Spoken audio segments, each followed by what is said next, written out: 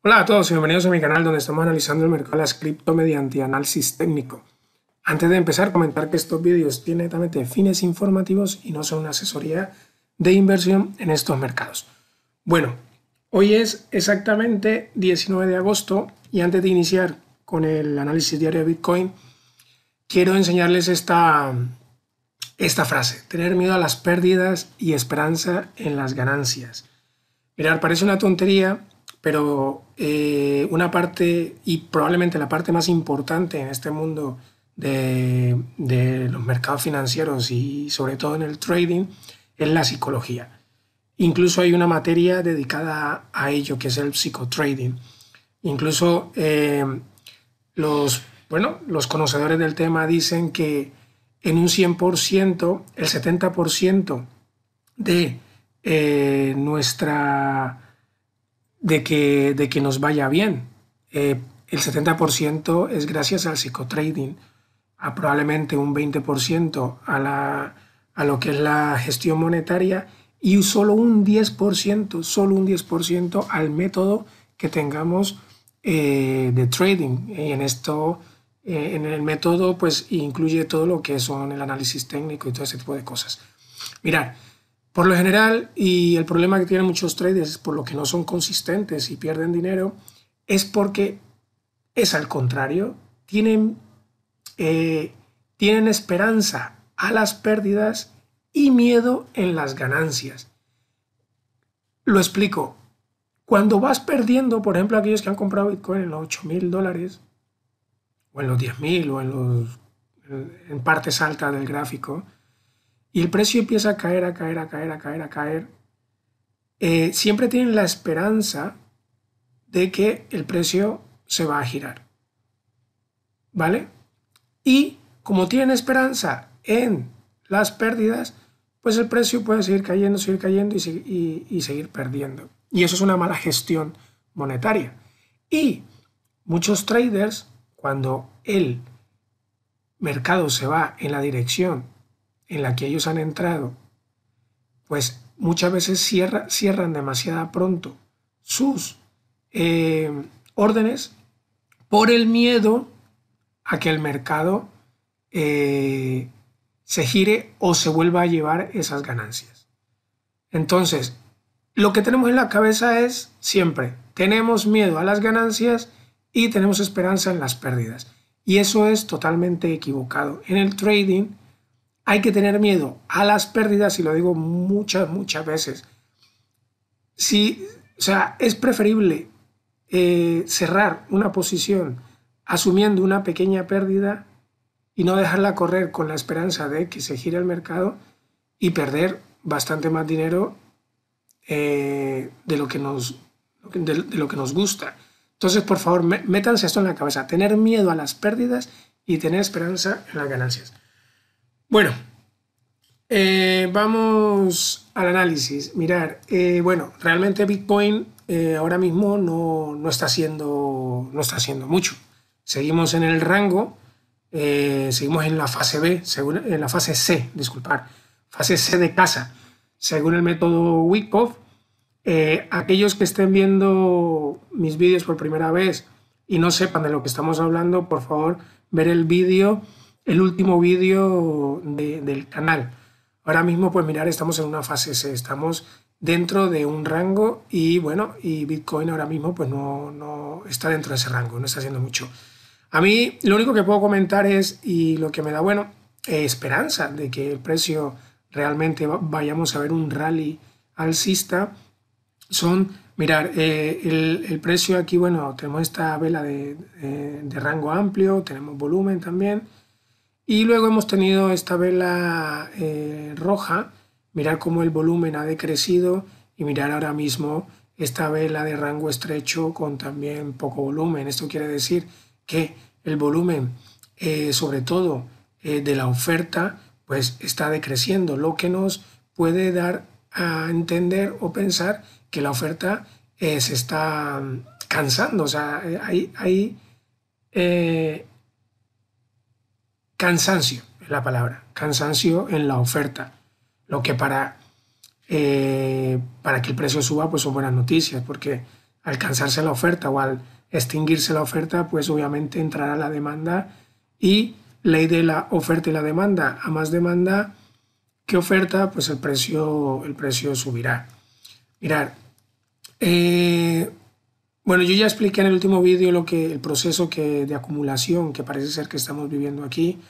Pero mira, a mí me hubiera gustado ver un movimiento como este. Mirar, aquí tuvimos la fase A, la fase de bajada, rango, eh, eh, vela de rango amplio, mucho volumen, volumen de parada, el precio, se para, rebota, hace este tipo de movimiento, un spring, esto le llaman en términos eh, de trading, esto es el famoso spring, el precio rompe ese mínimo anterior para hacernos creer que el precio va a seguir bajando y lo que hacen es engañarnos. Este es el spring, ¿no?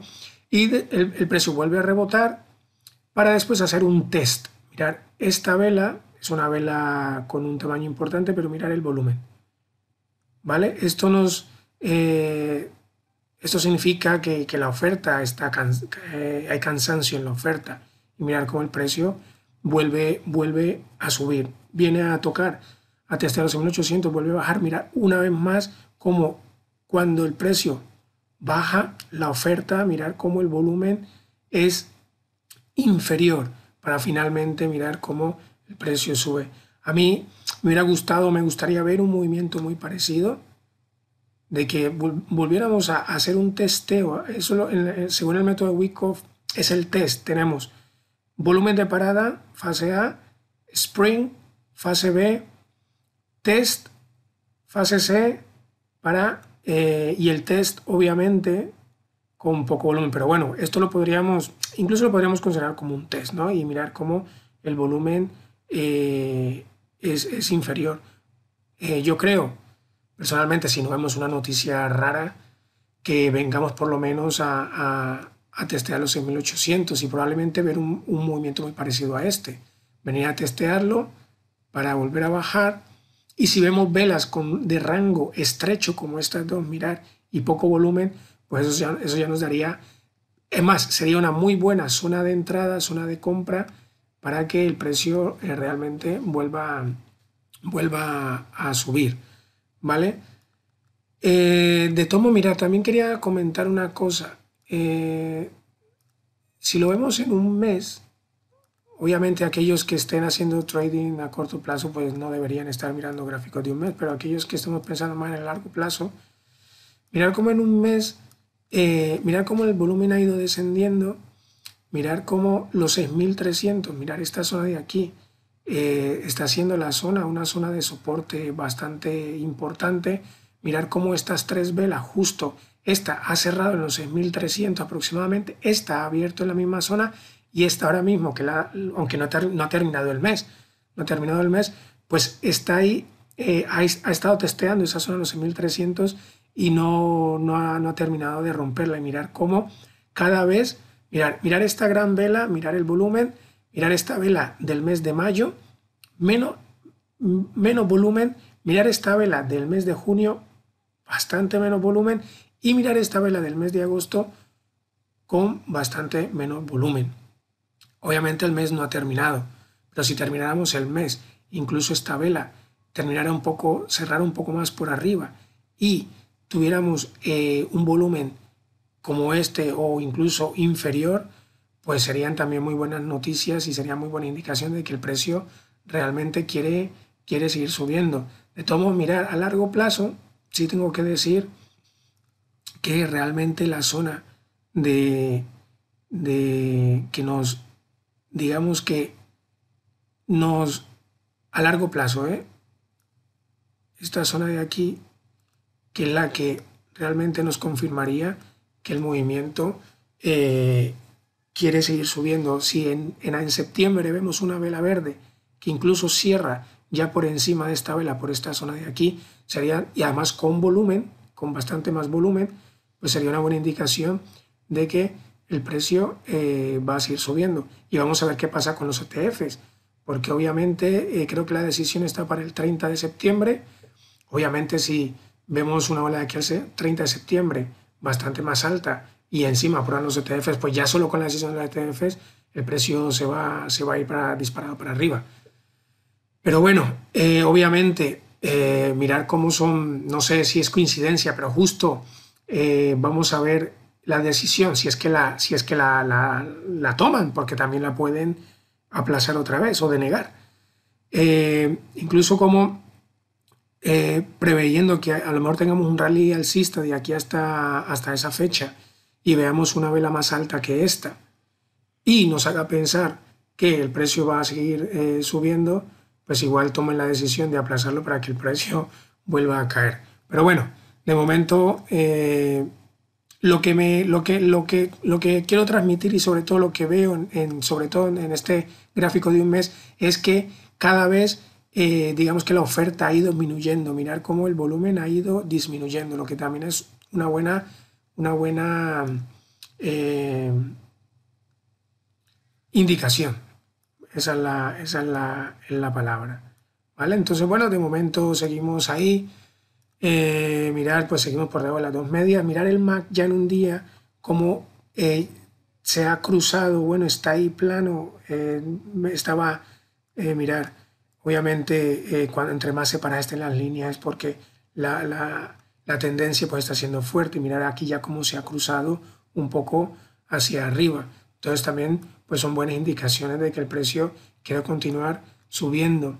Si lo vemos en una hora, sobre todo para aquellos que estén haciendo trading, pues mirar ahora mismo eh, estamos, mirar las, las medias móviles, como después de estar muy separadas, indicando mucha volatilidad y, y obviamente eh, en, en, plena tendencia bajista, muy separadas, mirar ya cómo en esta zona se, ha estado, eh, se han estado estrechando, incluso la hemos estado testeando, aquí la hemos roto, incluso la de 200, hemos vuelto a romperla hacia abajo y bueno, ahora mismo, eh, obviamente si viéramos que esta línea móvil de, las últimas 100 sesiones rompe o, o cruza la línea de las 200 sesiones hacia arriba, pues también serían muy buenas indicaciones de que el precio quiere continuar subiendo. Pero bueno, de momento seguimos en rango, seguimos en una fase C eh, y iremos viendo cómo va evolucionando el precio poco a poco. Mirad, eh, eh, Ronald García comentó que si por favor podía comentar mm, Bitcoin Gold, si estamos en una fase de un periodo de acumulación según el método Wyckoff. Y pues mirar, yo de momento mm, no, no veo tal fase de acumulación. Si veo que el precio ha, caído mucho, eh, está prácticamente en mínimos históricos. Aquí sí que hemos tenido un volumen de parada, mirar cómo ha habido volumen. El precio ha caído y han, entrado las compras y el precio ha rebotado. Yo lo que se puede decir ahora mismo que en Bitcoin Gold pues estamos en este canal eh, bajista importante si queremos eh, pensar que el precio quiere continuar subiendo debería romper este canal además con una vela de, rango amplio y con mucho volumen.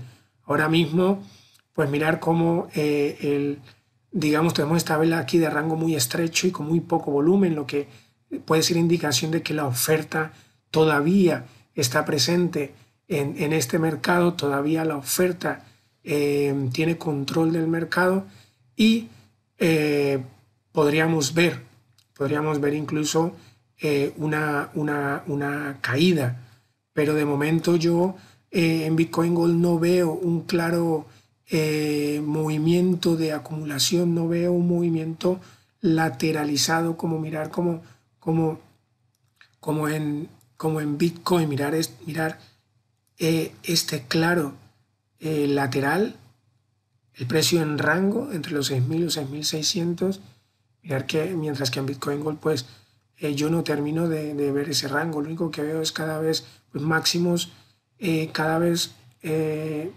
más bajos, máximos descendentes. ¿Vale?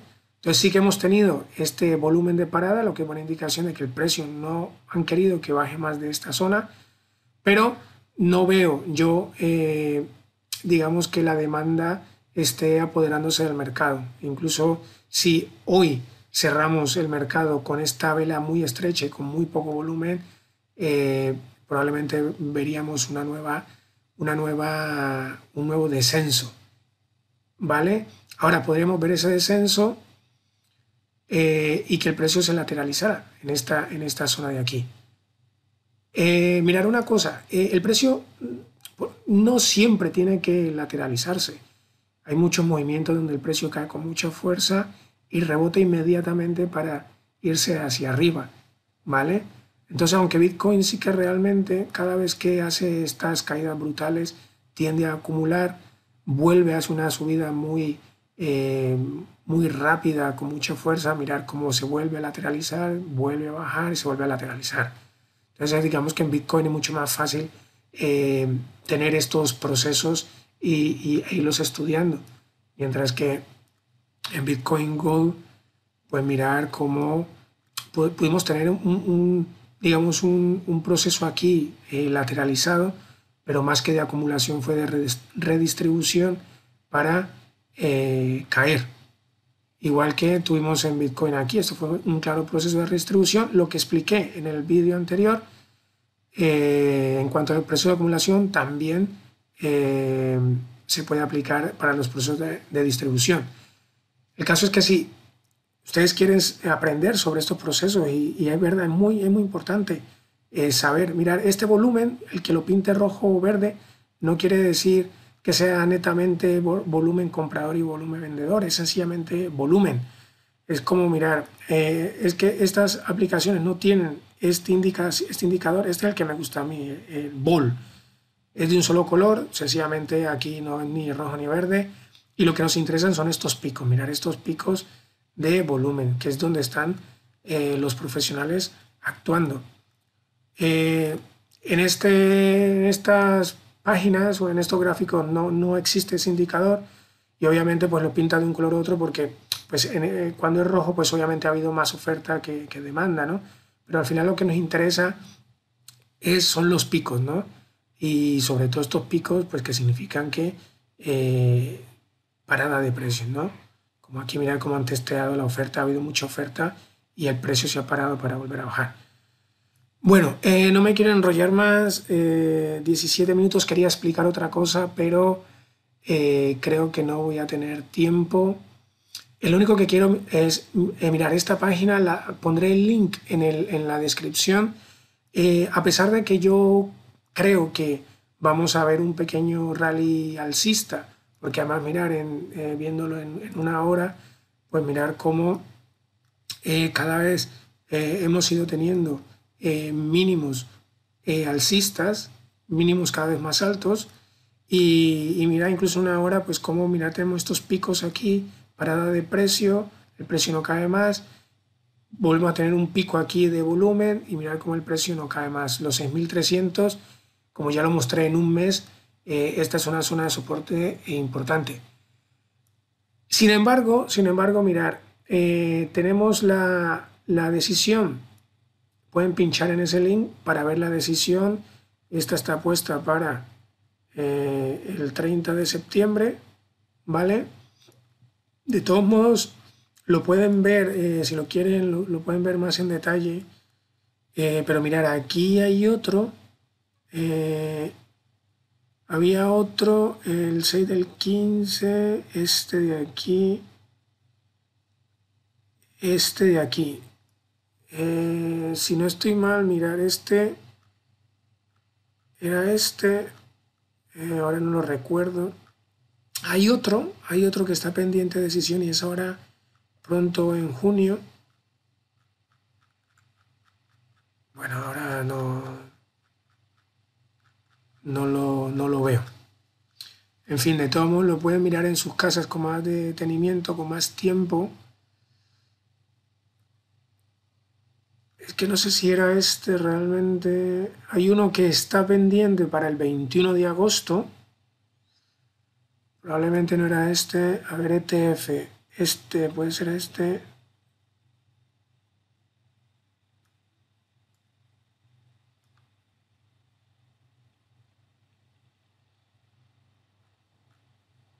Bueno, espera un momento, lo voy a buscar. Sí, mirar, es este. 23 de agosto. Eh, lo más probable es que lo aplacen o incluso lo, lo, denieguen, ya lo veremos. Y entonces sí que tenemos que estar con las alarmas abiertas o encendidas, porque ya sabemos lo que ha pasado, lo que pasó anteriormente con la, denegación de, los ETFs de los hermanos estos. Mira, y el precio pues cayó en, picado, ¿no? Entonces, bueno, eh, estamos a 19, eh, esta semana justo tienen que dar esa decisión sobre, sobre este. En caso de que lo aplacen o lo denieguen, pues sí que podríamos ver una, una, una caída. Si no la vemos, pues serían todavía muy buenas noticias y todavía y sería incluso confirmación de que el precio realmente está más por subir que, que por bajar. Bueno, eh, la verdad que me gustaría decir muchas cosas, tenía otra cosa por ahí, pero es que el tiempo es el que es. Eh, si les ha gustado el vídeo, por favor denle a me gusta y si no es mucho pedir, por favor denle a compartir. Muchas gracias por todo. Hasta luego.